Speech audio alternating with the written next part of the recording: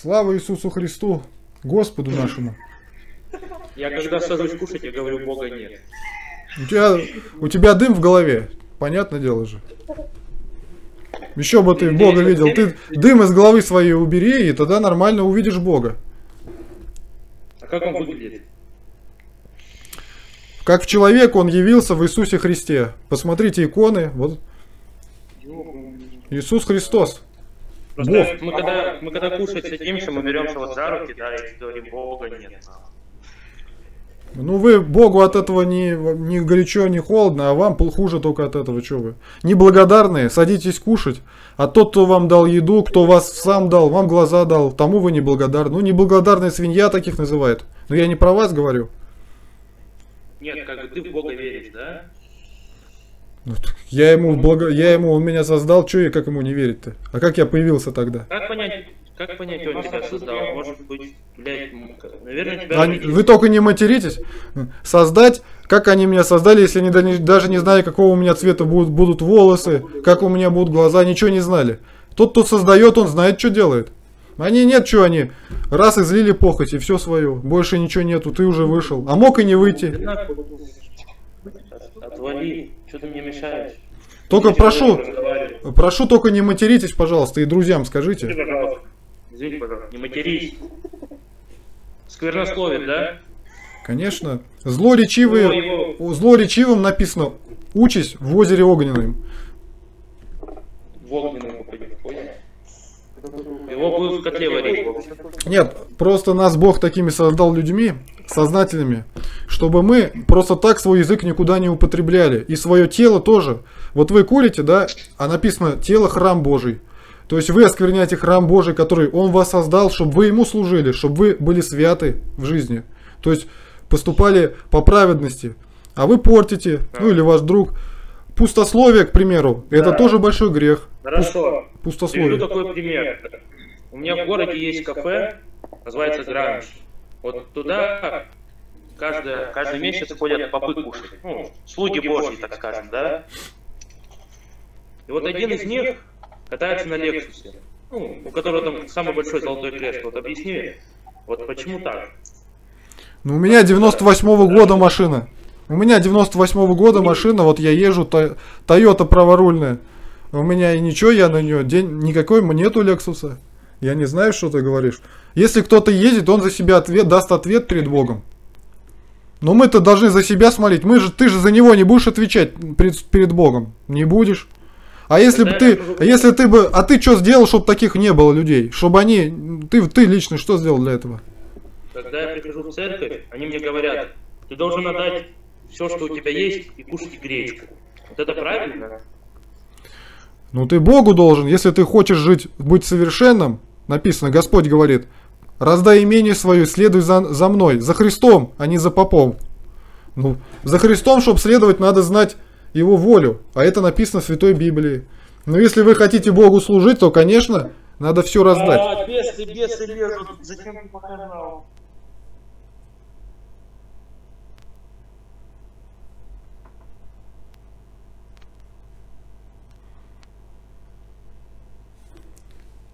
Слава Иисусу Христу, Господу нашему Богу. С наступающим Рождеством вас!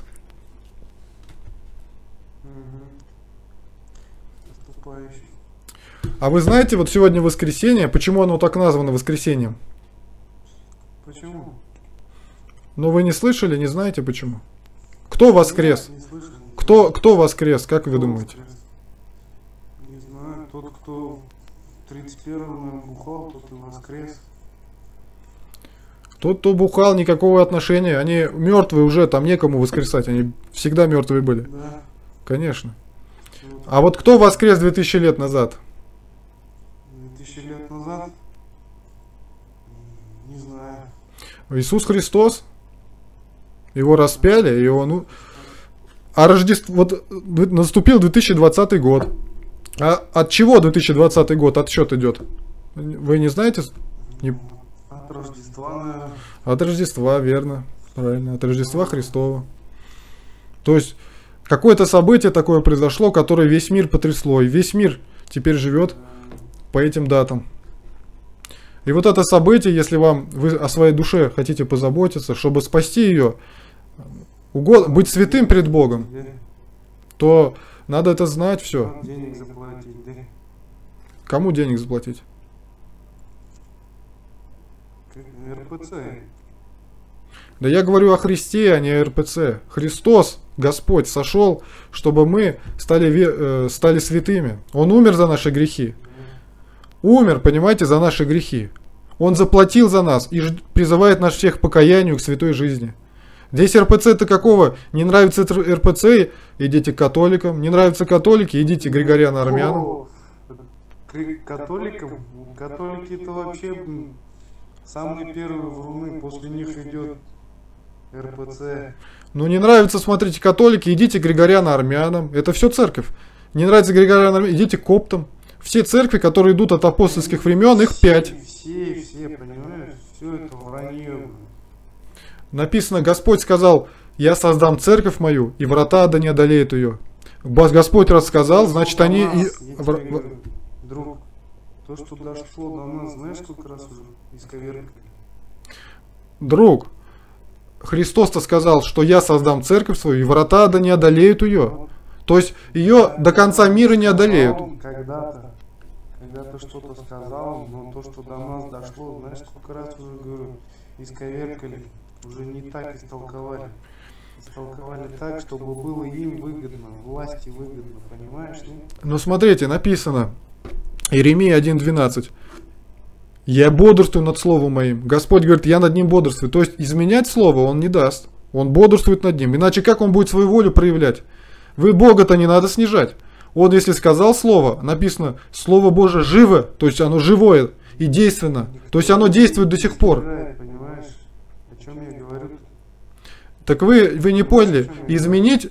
У нас Библия, да, перевод синодальный с масоретского текста. Евангелие на- найдено. э, Синайский манускрипт. То есть это древнейший-древнейший. И по нему было все это переведено.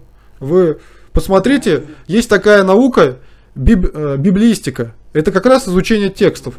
Библия один из самых сохраненных текстов, которые существуют вообще в истории человечества. Кто, кто, кто спонсирует вот это вот изучение? Какое изучение? Кого? Ну, ты же говоришь, есть такая наука. Да это любой. Вот вы захотите, будете, можете стать библеистом, начнете заниматься, будете смо- археологию там изучать и все. М, Это наука такая, целая наука. Наука, наука такая.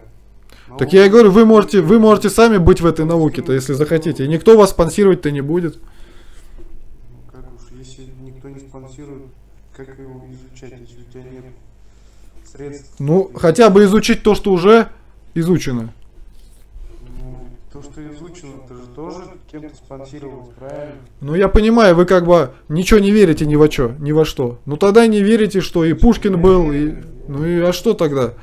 Вы должны найти, если Бог, понять, если Бог сказал свое слово, то Он силен его сохранить. Вы должны это просто понять. Понимаешь? Ну, вы верите, что, что Библия это слова Божьи, а не человека? Как это могут быть слова Божьи, если это написал человек? Ну, так и написано, что писали святые Божьи человеки, будучи движимы Духом Святым. 2 Петра 1.21. То есть Дух дви- двигал рукой их Дух Святой, то есть Бог. И ни одна йота, ни одна черта не уйдет закона, пока не исполнится все. Вы просто не понимаете, что это за книга. Если бы поняли, начали бы ее читать, вы бы увидели, человек такому невозможно написать, человеку это. Просто невозможно такое написать. Пророчество, которое сбывается через 2000 лет, разве возможно на- написать? главное, знаешь что? Лишь бы ты сильно вот в это вот не углублялся, прям туда не полностью с головой не заныривал, понимаешь, да? Да я оттуда не выныриваю даже. Ты чё? Уже все. Можно это не говорить, да, об этом. Жизнь, если ты хочешь спасти свою душу, то ты должен волю Божию познать. А воля Божия в Святой Библии.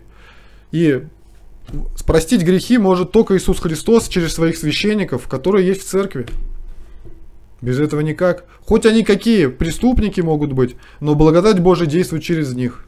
И вы, эти священники живут. Кирилл Да- как посмотри. Да я, мне какое дело, я-то как живу, мне никакого дела, у меня 98 машина, 90 98 года, мне не надо, я хорошо живу и ничего. Если в бедности хорошо жить Это тоже. Говорится в Библии.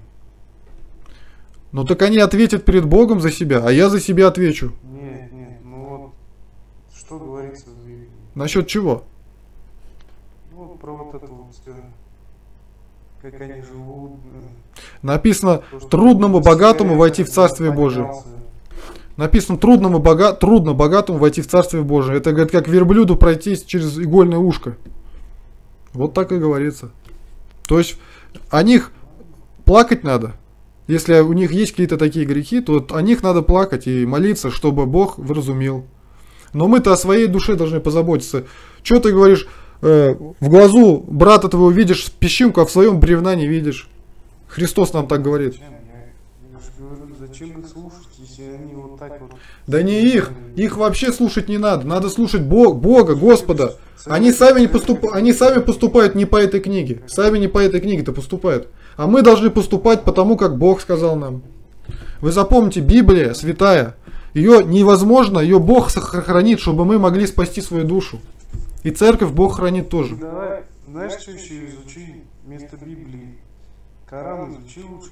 Так я Коран и так изучаю, что мне, что ты мне говоришь? Я и так знаю. Пятая сура, Что ты все про... про... со- 47 аят. Про Библию говоришь. Ну, рассказать тебе про Коран, что ли? Про одного... Нет, подожди, выслушай меня. Есть одна история, Мекка же есть, знаешь, да, Мекка? Ну, Конечно, знаю. Вот там стоит этот Кааба. Так, есть такое. Какой-то стране, короче, спецслужбы отправили своего агента, короче, чтобы он добрался до этой Каабы. Он, короче, сколько-то лет, лет 10, что ли, изучал вот это все арабские эти, в арабских, в арабских странах жил, короче, арабский язык, все дела. И пошел, сделал хадж, короче, совершил. Дошел до Мекки.